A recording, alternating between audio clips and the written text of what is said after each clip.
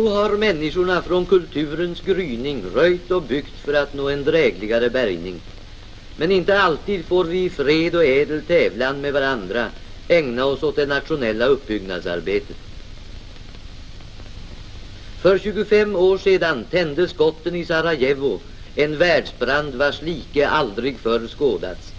Till lands och vatten drabbade styrkorna samman i en förbittrad strid. Nio miljoner stupade, 20 miljoner sårade eller för alltid odugliga för produktivt arbete var krigets facit. Hem och gårdar, städer och byar skövlades. Värden för miljarder och åter miljarder förstördes.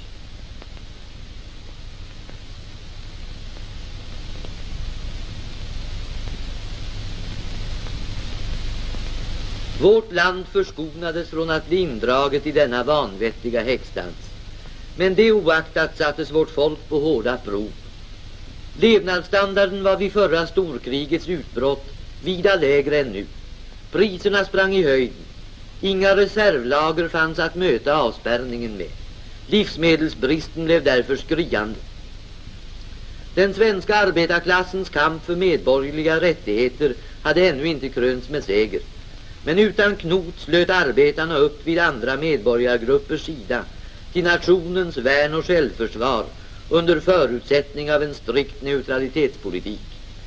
Sveriges arbetare fick nogsamt känna tyngden av de bördor som efterkrigsåren och depressionen lade på dem. Kriget hade utarmat Europa. Våra exportindustrier hade svårt att finna avsättning för sina produkter. Utanför arbetsförmedlingarna väntade svenska män och svenska kvinnor på en chans att få göra en samhällsnyttig insats. Men andra industrier, industrier som näppeligen kan kallas samhällsnyttiga, saknade inte sysselsättning. Det sargade Europa hade knappast återhämtat sig förrän rustningsindustrin gick mot en ny högkonjunktur. Världens väldiga vapensmedjor skickade oupphörligt ut nya infernaliska förstörelseredskap. I vårt land fortskred det demokratiska uppbyggnadsarbetet. Arbetarnas medbestämmanderätt i nationens angelägenheter ökades. I riksdag,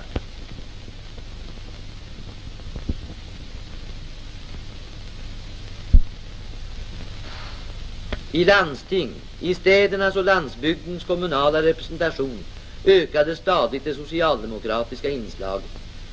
Rösträttsreformen som kostat mångårig strid förverkligades och åtta timmars normalarbetsdag blev skyddad i lag.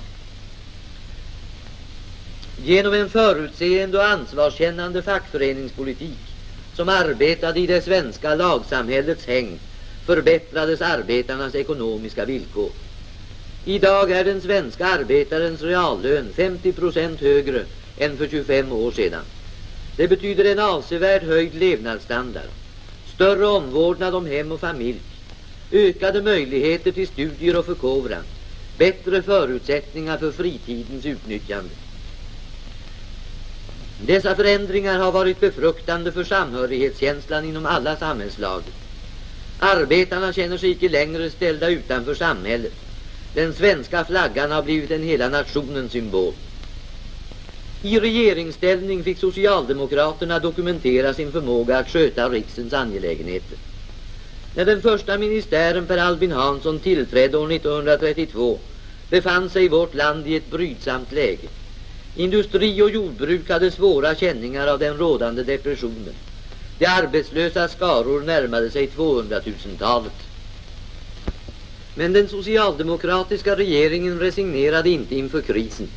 Med beslutsamhet tog den upp kampen mot den. De sysslolösa armarna sattes i arbete. Allmänna arbeten med statligt och kommunalt bidrag igångsattes. Det svenska vägnätet byggdes ut och förbättrades. Kanaler, broar och hamnanläggningar ny eller ombyggdes. Riskabla trafikfällor som krävt så många offer undanröjdes. Ett socialt reformarbete av stora mått bedrevs med beslutsam energi. Genom en vidgad och förbättrad skolundervisning fostrades den svenska ungdomen för kommande uppgifter i det fredliga uppbyggnadsarbetets och samhällsnyttans tjänst. Den kan träda ut i livets hårda skola bättre rustad än vi och våra fäder fått göra. Under skolåren erhåller barnen i vårt land tandvård. Den ingår som ett led i den gagnerika folktandvård som svenska medborgare i alla åldrar, från de yngsta till de äldsta, skall bli delaktiga av. Överallt är det ännu inte så välordnat som på denna förnämliga barnklinik, men organisationsarbetet pågår som bäst. När denna reform är helt genomförd kommer den förvisso att bli av mäkta stor betydelse för vår folkhälsa. I många delar av vårt land, framförallt i ödebygderna, åtnjuter barnen i skolan fri undervisningsmateriel och fri skollunch eller är helt inackorderade i skolhem. Och där avstånden mellan hemmen och skolan är stora har de även fria skolskjutsar. Hembildningen och barnens välfärd har varit föremål för statsmakternas särskilda omsorger. Då ett par unga skötsamma människor vill sätta bo kan det vara svårt att få slantarna att räcka till. Då kommer det statliga bosättningslånet väl till pass. Upp till 1000 kronor kan man få låna för att realisera drömmen om ett eget hem. Och när den tiden kommer erhåller den blivande modern kostnadsfri förlossningsvård samt moderskapspenning eller moderskapshjälp. Är familjen i små ekonomiska omständigheter kan den nyblivna modern också erhålla mödrahjälp. Barnen är sålunda föremål för samhällets omsorger redan vid sin första start i livet. För barn utom äktenskapet och så kallade skilsmässobarn kan modern erhålla bidragsförskott vilket innebär att kommunen ställer sig som garant för understödet till barnet. Och ekonomiskt behövande änkors och invaliders barn, liksom föräldralösa barn, erhåller av allmänna medel särskilda barnbidrag. Under 1939 utbetalades omkring 20 miljoner kronor i barnbidrag. I fredens värv och för kommande generationer har vårt folk spänt sina krafter. Vårt land har med målmedveten energi ägnat sig åt det sociala rustningsarbetet. Landsbygdens liksom städernas ruckel och undermåliga bostäder har fått stryka på foten för ett planmässigt saneringsarbete. Stora summor har nedlagts på att skapa nya och goda bostäder åt vårt folk.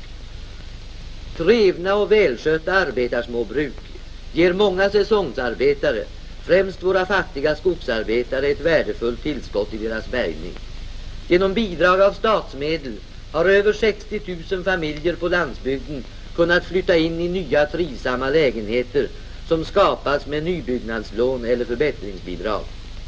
Egna hemsverksamheten har också i många år uppmuntrats av staten och på socialdemokratiskt initiativ har denna verksamhet utbyggts och förbättrats. Barnrikebostäder för mindre bemedlade familjer i såväl hyreshus som egna hem växer upp runt omkring i landet. Till dessa familjer lämnar staten hyresbidrag. Det varierar allt efter barnantalet och kan uppgå ända till 70 procent av hyreskostnaden. Lantman, då du ber för jordens gröda, bed med handen på din plog, så välsignar bönens kraft din möda, säger skalden. Det var vårt folk gjort. Vid plog och harv har den svenska bonden bett sin bön och avvunnit jorden nya skördar. I hagar och betesmarker klingar boskapens skällor. Vid våra kuster fullgör väderbitna fiskare sitt farofyllda värv i folkhushållets tjänst. I hantverk och industri, i gruvornas schakt och i timmerskogarnas djup finner vi svensken på sin post i arbetets stora armé. Han gör sitt värv i folknyttans tjänst och samhället tänker på honom. När han åldrad och utarbetad inte längre kan göra sin insats i förvärvsarbetet. Genom pensionsförsäkringens utbyggnad och främst genom de dyrortsgraderade tilläggspensionerna har de uttjänta gamlingarnas ålderdom något sånär tryggats. Genom statssubventionerade kommunala pensionärshem håller deras bostadsfråga på att lösas. Ännu är inte allt ordnat som man kanske kunde önska, men vi har hunnit ett gott stycke på väg. Inte alltid är det uteslutande ålderdomen som avskär medborgaren från förvärvsarbetet. Olyckor av skilda slag, sjukdom, arbetslöshet, olycksfall kan inte förhindras. Men verkningarna av dem kan neutraliseras. Det är också vad vi här i Sverige har sökt göra. Den statliga arbetslöshetshjälpen och arbetslöshetsförsäkringen mildrar ett oförskyllt lidande. Olycksfallsförsäkringen och sjukförsäkringen tillhör också våra betydelsefulla sociala hjälpmedel. Vårt sjukvårdsväsende har förbättrats och förbilligats. Nya vårdplatser tillkommer årligen i såväl landskommunerna som i städerna. Också staten har byggt ut sina sjukhus de sista åren. De bilder vi här visar ger en liten föreställning om det nya rikssjukhuset i Stockholm, det största byggnadsföretag som någonsin utförts i vårt land. Undan för undan blir de av svenska vetenskapsmän ledda avdelningarna färdiga till folkets gagn. I laboratorier och forskningssalar söker våra vetenskapsmän efter nya medel i kampen mot folkhälsans fiender. Ett folk i arbete och social trygghet är en grundförutsättning för nationens fortbestånd och utveckling. Med djup känsla för folkets hälsa har också betydelsefulla åtgärder på sociallagstiftningens område kommit till stånd. Skyddslagar av olika slag sätter stopp för ett godtyckligt utnyttjande av arbetskraften. Och genom att rätten till semester upphöjs till lag kan Sveriges arbetande folk vila ut och rekreera sig samt hämta krafter för kommande arbetsdagar. Cykeln, det mest demokratiska samfärdsmedlet, ger gamla och unga tillfälle att under semesterns dagar se vårt vackra land och stärka sig till kropp och själ. Idrott, sport och friluftsliv har genom anslag av stat och kommun uppmuntrats och många fritidssysselsättningar som exempelvis det betydelsefulla frivilliga folkbildningsarbetet erhåller statens stöd. Framsteg och förbättringar har kännetecknat vårt sociala arbete och den svenska socialdemokratin har varit en drivande kraft i utvecklingen. Ibland i kamp och under bittert motstånd, under senare år i allt mer utvidgad samverkan med andra samhällsgrupper har reformarbetet bedrivits. Men i ostörd ro fick vi inte fortsätta vårt verk. Våldet och vapnen tog till orda. Krigets makter släpptes lösa. Även de små och fredligt sinnade nationerna har drabbats av dess hemsökelse. Situationen ställde stora krav på vårt folk och dess ledning. Allvarliga och manande vore de ord som landets statsminister Per Albin Hansson riktade till folket när kriget steg över Nordens tröskel. Vårt fosterland, sade han, upplever en prövningens tid. Kriget har förts ända in på våra gränser. Det gäller nu oss själva, våra möjligheter att bevara vår fred, frihet och ära. Jag har en fast förtröstan att vi genom enighet och beslutsamhet skulle kunna lotsa vårt land genom svårigheterna. Skulle ofärden dock komma till våra landamären skall förvisso det svenska folket visa sig mäktigt att värna det för oss dyrbarast av allt, Sveriges frihet och oberoende. För att skydda och upprätthålla vår neutralitet har vi fått vidta en militär beredskap av väldiga mått. Våra krigsfartyg vakar över våra handelsfartygs säkerhet och runt landets kuster sträcker kustbatterierna ut sina varnande kanonmynningar. Vid gränserna står den svenska soldaten orubblig på sin post. Överallt i landet vakar luftvärnets långspanande ögon. Om allvaret i värnet om vår neutralitet och frihet ger försvarsminister Per Edvin Sköld besked. Vår beredskap är god, säger han, och den växer i styrka undan för undan. Vi har därför ingen anledning att ge avkall på Sveriges oberoende. Vill någon bruka våld mot oss, icke bara vilja vi utan kunna också sätta hårt mot hårt. Men vi önskar icke bli indragna i kriget. Vi viljade icke av fri vilja. Vår politik är neutralitetens. Men kränker någon vår neutralitet skola vi med all vår kraft tillbakavisa den kränkande. Vill någon ställa krav på oss som kunna skada vår frihet och vårt oberoende, avvisar vi dem. Griper någon till våld för att tvinga oss, kommer vi att försvara oss. Vår ställning blir densamma, vem än den antastande är. Om vår beslutsamhet härvidlag får intet missförstånd råda. Vi ämnar utan tvekan värna friheten och oberoendet och vi har fullt förtroende till våra möjligheter att kunna göra det. Försvarsministern ger förvisso uttryck för vad varje svensk man och kvinna tänker i dessa dagar. Beredskapstjänsten bjuder ibland på spänning och dramatik. Här nås en förläggning av flyglarm. Syndsamt bemannas luftvärnspjäserna som är redo att skjuta skarpt om det gäller.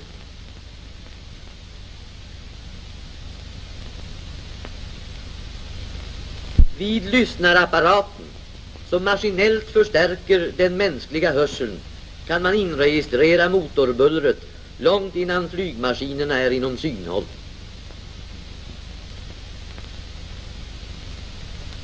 Den militära vakthållningen kräver offer av vårt folk, främst av de inkallade och deras familjer.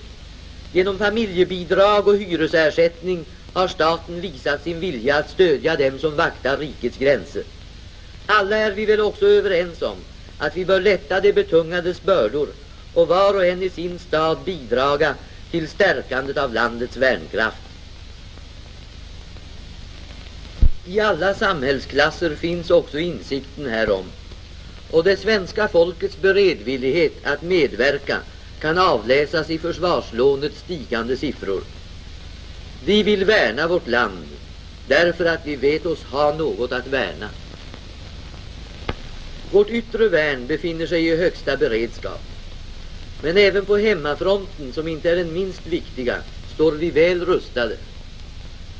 Våra spannmålsskördar har en följd av år varit betydligt större än förbrukningen. Vi har därför överskott av brödsäd som kommer väl till pass om skördesiffrorna skulle minska. Behovet av reservarbetskraft i lantbruket har också uppmärksammats. Svensk ungdom har frivilligt och intresserat satt sig in i jordbruksgöromål för att kunna rycka in på de äldres platser om så skulle behövas.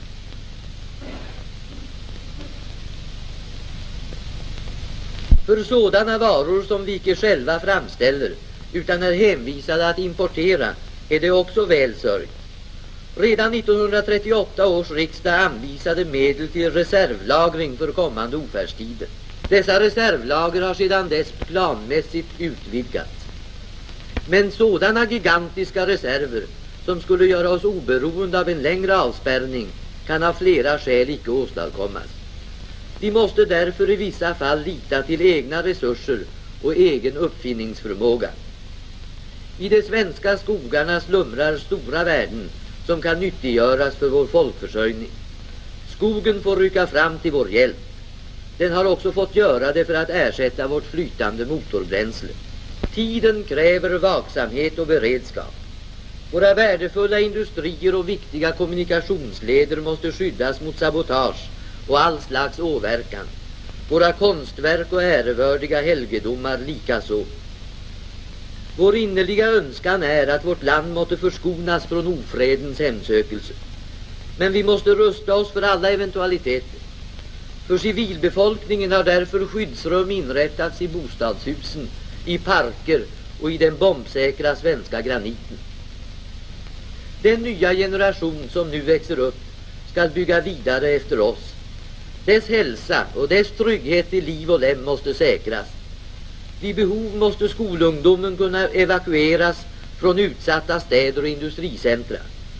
Statens utrymningskommission har för detta ändamål låtit inrätta internatsläger för hundratusentalet skolbarn.